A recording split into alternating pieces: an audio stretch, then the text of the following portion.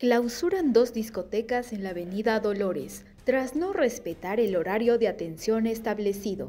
El domingo 15 de septiembre se llevó a cabo un operativo en José Luis Bustamante Rivero, que resultó en la clausura de las discotecas Seven Disco VIP y After Office. Estamos interviniendo dos locales que han sido sorprendidos funcionando después de las 2 de la mañana. Estamos hablando del Seven, que fue intervenido a las 3 de la mañana, y este local, el Office, a las 4 de la mañana.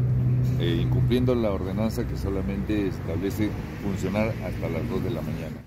Durante la intervención, el personal fiscalizador se encontró con las puertas de ambos locales cerradas, impidiendo el ingreso de inspectores y reteniendo a los clientes en su interior.